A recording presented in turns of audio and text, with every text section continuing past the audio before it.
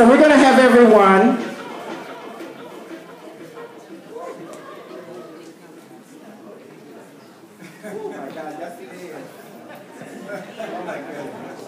First of all, we'd like to give them all a round of applause and thank them for being here. We're going to share the mic. I think we have two mics, so we're going to make it work. Well, Anthony will do the second row. I will do the first row, so you will pass it back and forth. So I'm going to start here with this young lady.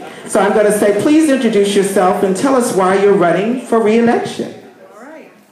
It's a pleasure to be here with everyone. I am Anita Bonds, and I am an at-large member of the D.C. City Council, and I'm running for re-election because I like working for the citizens of the District of Columbia. All right. Good evening.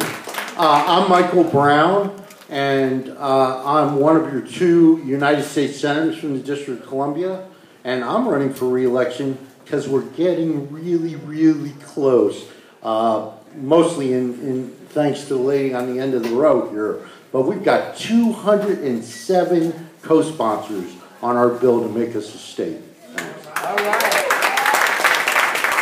My name is Don Beyer. I'm the token Virginian on the panel, and I'm one of the 207 co-sponsors on that piece of legislation.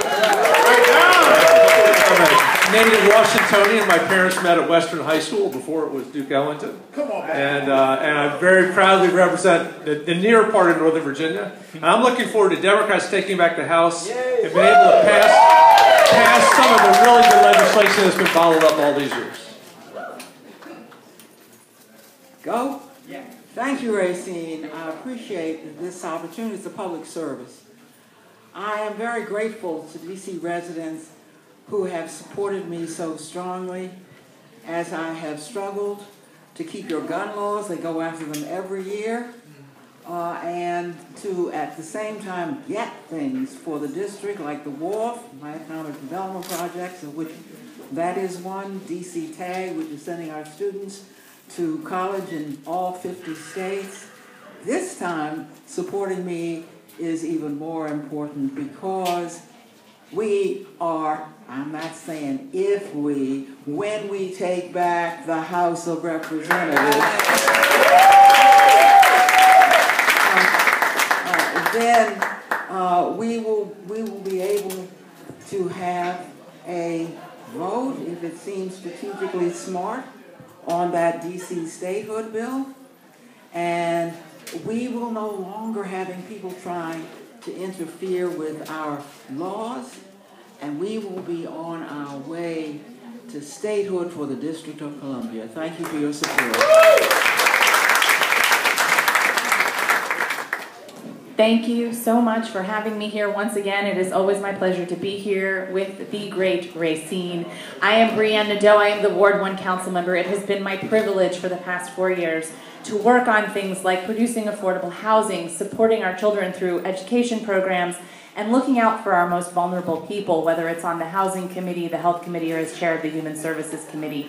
That includes the work that we've done to look out for our LGBTQ youth experiencing homelessness in our first ever youth plan to end homelessness. And I want to thank all my colleagues up here who helped get that done and to fund it for this fall. It is now in effect. Thank you. Thank you, and thank you very much for having me. Good evening, everybody. My name is Mary Cheh, and I'm uh, the third term uh, member, uh, Ward 3, uh, the Ward 3 Council member uh, and I'm running for re-election because I find this the most rewarding, satisfying job I have ever had or could have because I get to serve the people of uh, my ward and also the district. And I've had some absolutely thrilling moments. And by the way, I want to thank Eleanor Holmes Norton. One of the bills she saved uh, from the uh, pile of uh, Republican resentment um, was my Death with Dignity law. And so thank you. I have a chance to say that publicly. Um, but um, there have been some extraordinary moments on the council during my service, and I just want to share one with you, and maybe some of you may remember this. And it was the Marriage Equality uh, Act that we passed. And um, when it came my turn, you know, we go down the road, came my turn, I said, on, with respect to this bill, I vote, I do. and those moments and, and all the legislation we've been able to pass and the, the service I've been able to give my ward, I, I just can't imagine anything that would be more uh, rewarding. So uh, that's why I'm running.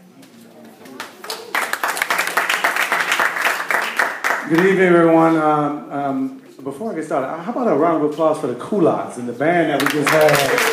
My goodness. I don't know that I've ever started off a forum with this much energy. Thank you, Rayceen, for that. Uh, I'm Kenyan McDuffie. I represent Ward 5 of the Council of District of Columbia, and I'm running uh, for re-election because I want to continue to serve all the 80,000 residents of Ward 5 to continue to tackle issues like comprehensive campaign finance reform, which we tackled at the council, issues around criminal justice reform, juvenile justice reform, working with the Attorney General, working with my colleagues at the council, making sure that we fight with our warrior on the Hill, Congressman Eleanor Holmes Norton and Congressman Don Beyer, who's been a friend uh, to residents of the District of Columbia, to make sure we are uh, fighting for statehood, and also to work towards the issues that we have made some headway on, like housing, like homelessness, like employment for the least, the last, and the particularly the folks and our friends in the LGBTQ community. Uh, but more importantly, over the last 20 years, what I've recognized as somebody who is a third generation Washingtonian is that we've come a long way. DC has seen 22 consecutive balanced budget. We've seen surplus after surplus, and the reality is there are thousands of people in the city who've been left behind. And I'm working to continue to fight for those people with my colleagues here on the council to make sure that we are looking to create more equitable city and that the future economic growth of the District of Columbia is more inclusive. So I need your support to be able to do that for four more years in the council. Thank you all. Good evening, everyone. Good evening. Uh, thanks, Rayceen, for the um, opportunity to be here. I'm Elissa Silverman. I'm one of the at-large council members and one of the independents on the council.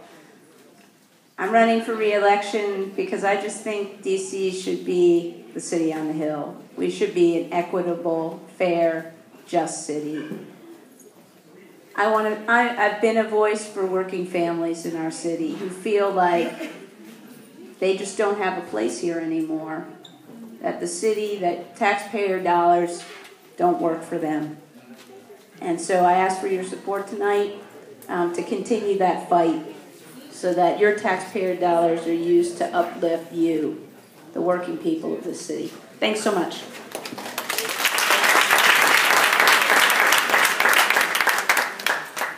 Hello, everyone. I've got the uh, distinct pleasure of not only being the first elected Attorney General, but my last name is Racine.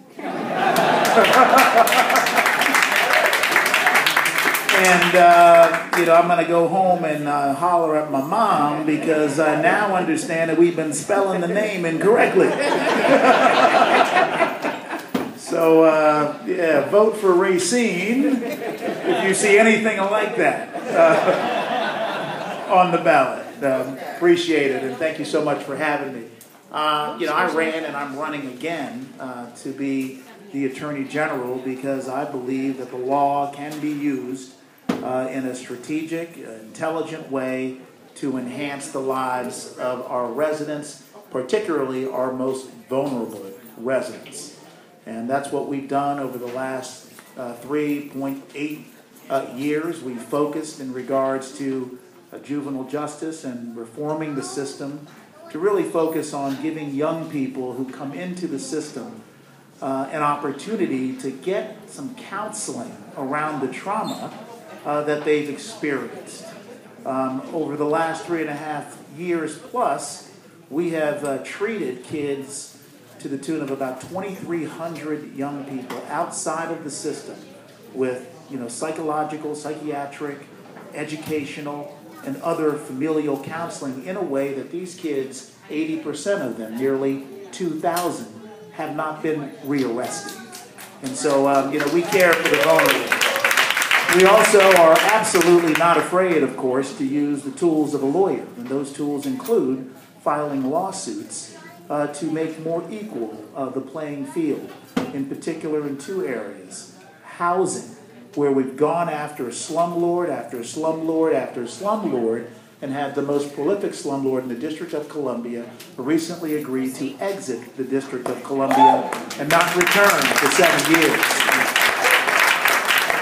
Lastly, uh, we've worked, I got a second to last. Second to lastly, uh, we've worked hard and I've partnered with the council members, uh, certainly Kenyan on juvenile justice, uh, and Elissa on wage theft issues where we've been granted additional authority at the Office of Attorney General to go after unscrupulous businesses that actually steal wages from people who have earned them.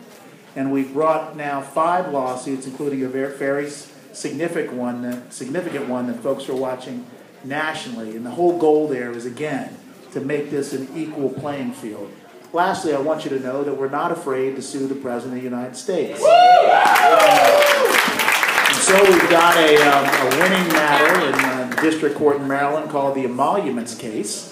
Um, where we're uh, trying to make sure we stop uh, the president from not only violating the Constitution of the United States, but profiting uh, from his term in the White House. Nationally, I want to say that uh, we filed suit against the president on his attempt to ban from service LGBTQ trans members. Um, and it's those lawsuits that have uh, put him in that place. He needs a check and a balance, and we're happy to provide that. Thank you. All right, thank you. We're going to have y'all share one, the one mic here and the one mic there. So, um, someone find Czar for me so I can make sure I'm on time.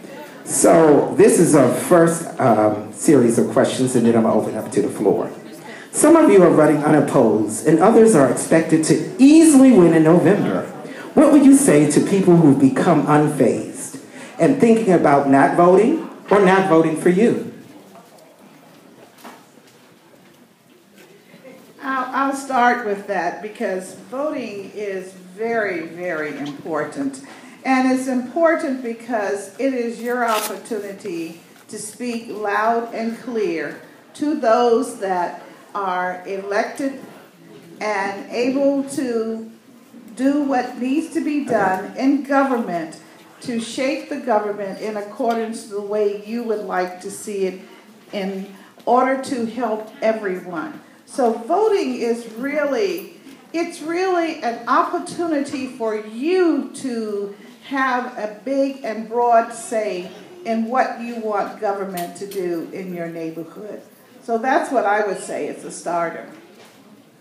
Uh, DC residents of all Americans need to go to the polls because we are trying to get the full vote in the, the, the House and the Senate. And we've got to set that example. Uh, we've got to give a big vote as well because we want Trump to see that right where he lives in this city, he has a strong vote against him. So DC residents can send a message that nobody else in the in the country can send to Trump and to the Republicans. The, the only thing that I would add to what uh, my colleagues have said is that when you vote, you vote not only for yourself, you vote for everybody that's like you. The reason that we don't cut Social Security and we do cut education is because old people vote and young people don't. So every time you cast a vote, you cast a vote for every individual that's just like you. And that's why it's important. I've got an, I've got an opponent, but whoever you vote for, please come out and vote.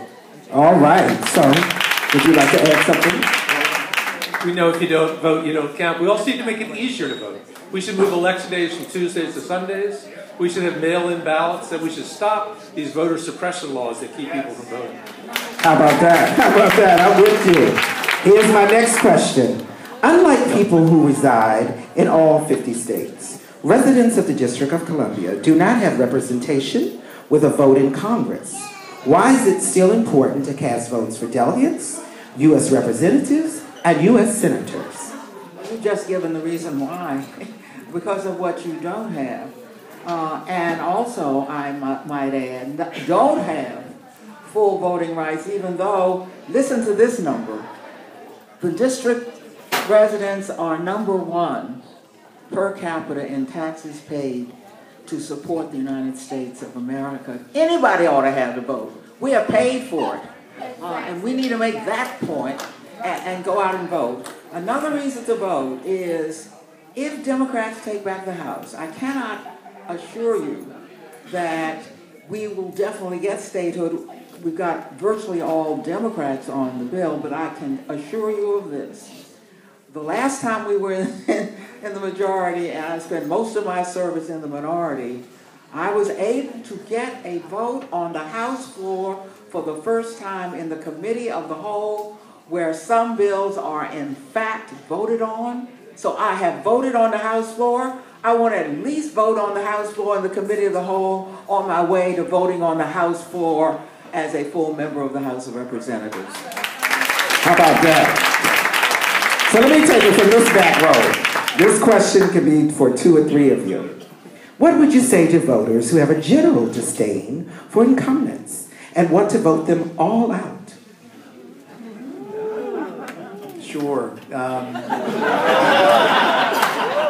let me just uh, say my last name again. Racine. no, no, no. No, look. I mean, I think it's. I think incumbents are fair game. Um, you know, to be honest, uh, and I think it's important uh, that uh, competition uh, comes into play. Uh, that's why I respect, uh, you know, the folks who are not up here right now. They're running for office. They're challenging the incumbents. They've got to win on their ideas. it's important um, that we have challenges, but it's also important, I would say, from the position of an incumbent, um, that you take a hard look, and perhaps we need to do a better job communicating what we've done during our term. And if you think that people have worked their tail off um, for you, taken on some challenges and maybe some hits and stood up and been honest and have been people of integrity, then I would respectfully suggest that they probably have earned your vote. So I'm pro incumbents, uh, I'm pro challengers fighting against incumbents, but I'm also pro fighting that candidate, whether it's an incumbent or a challenger, who you can trust to do the job. You know, if I may, can I just quickly answer the previous question because my office doesn't get voted for sometimes. I have the most non-votes of anybody in the District of Columbia in terms of an office. But it's important because six jurisdictions have used non-voting senators and each one of them has become a state.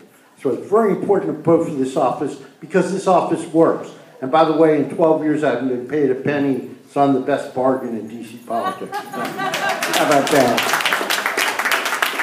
Rayceen, I, I, certainly wish my last name was Racine tonight. Um, but what I would say is that Trump got elected because people didn't think their voice mattered and that there was any difference. And I think what we have learned in these two years is there's a big difference. Um, so I would ask um, DC voters to take a look. Paid family leave. So I have to say I'm probably set apart from everyone in this uh, in this area because I have an election that is very much challenged, as people who are paying attention know. And I support paid family leave. I think it's really important that people have the uh, opportunity, no matter who they are, no matter what they look like, no matter who they love, to have time to spend with their family at the most important moments of their life. And that's what, and, and so I think um, DC voters should take a look. Um, I'm an incumbent, but I have taken hits uh, for paid family leave because I think we're a humane city, we're a compassionate city, and I think people should be able to take care of their loved ones at the most important moments of their life. Amen. All right. Yeah, I think it's it, it is it is easy to, to look at incumbents and say, you know what, they're not working for me. I think the point that was made earlier by Attorney General Racine about the, the need for incumbents to communicate the work that they've done is a very important one. Uh, I, have been on the council for six years. I represent Ward 5, and I think it's important for folks who are considering me uh, on November 6th to think about the things that I've been able to generate uh, in my record. Working with my colleagues on the council to tackle really important issues like comprehensive campaign finance reform, making for so businesses couldn't bundle donations, tackling issues like uh, crime prevention, like the NEAR Act, the Neighborhood Engagement Achieves Results Act, where I worked on everybody on this uh, on this side of, of the forum to make sure that we ushered in a health-based approach to crime prevention and intervention in District of Columbia. That we recognize that law enforcement is important, but it's also important to make sure that we are embedding uh, credible messengers, people who can interrupt and disrupt the violence into the communities where we're seeing some of the highest rates of crime in the District of Columbia. Making sure that we look at juvenile justice reform with the Attorney General to, to prevent uh, kids from being thrown uh, in administrative segregation for long periods of time that is proven is the data that shows that it does not help with their rehabilitation. Focusing on the consequences, but age appropriate consequences to make sure the kids aren't being shackled when they're ushered into court to appear before judges. Working on issues like ban the box for employment, tackling issues like ban the box for housing with Councilmember Bonds, making sure that you tackle these very important environmental issues with Councilmember Cheh, and the human service issues on homelessness. If you look at the record that this council, this very progressive council has developed, uh, at least in my tenure over the last six years, I'm proud of that record. And I'm willing to stand and shout from the rooftops the things that we've been able to accomplish. And I would hope that people would look at the incumbents that have been on the council for the last several years and look at our records and judge us on our records. And I'm willing to go toe to toe to anybody to tell them all the wonderful things that we've been able to accomplish over the last several years. So, so I want to thank my colleagues for all the work that we've been able to do. And I hope that you all would look at some of those things and hope be responsible for making sure that I communicate those things more effectively to you all as well. Thank you, uh, Councilmember McDuffie and my, and my colleagues here. It's absolutely true. You know, uh, our uh, district is really a uh, reformist, progressive place. And serving on the council and all the work that we've been able to do, I believe in democracy. I'm a professor of constitutional law. I mean, it's deeply, it's in my DNA. And I think that, you know, we should engage, and it's sort of like a, a, a job interview with the public. And so we have to, you know, uh, meet that job interview. I didn't even have an opponent in the primary, but I nevertheless put on a campaign. And what? Nothing. We're all right. We're all right. Somebody just had a breathe moment. Just breathe. We're fine. Keep okay. going. In any case, and now I do have an opponent, and that's fine. But as my colleagues have said, I, I would hope that the residents of uh, Ward 3 would see uh, what we've done during our tenure and what we've been able to bring, in particular, you know, the, the uh, people of my ward in terms of all the things that I've been able to bring. I've modernized all the schools. I've, I've put in new libraries, new firehouses, new recreation centers. It's just been, you know, uh, one thing after the other in terms of uh, providing this infrastructure for my ward. But uh, I, I think that we can all stand very proud, and I want my residents to have confidence in me when they vote. Thank you. All right. And this will be a final question. And then we're going to take a picture and we'll wrap this up and we'll go into the second panel. Well, you know, elections are really about your values, right? And ensuring that the people you're voting for share your values.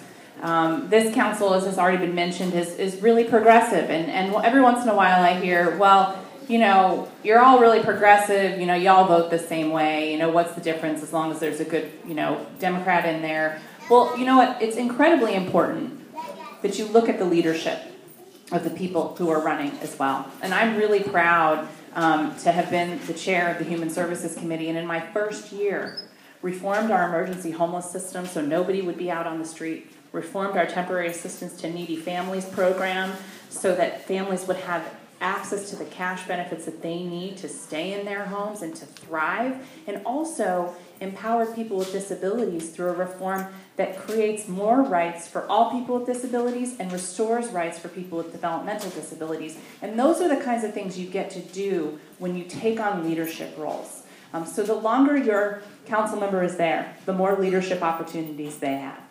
Don't vote for someone you don't believe in. Don't vote for someone just because they've been there a long time. Vote for someone because they're doing the right thing every day, because they take the hard votes, like we all have to do every day. My most satisfying days are when I'm taking a hard vote or when I'm doing something difficult because I know that I put my all into it and that I've represented my constituents well. Thank you. Thank you. So we're going to take a picture so let us all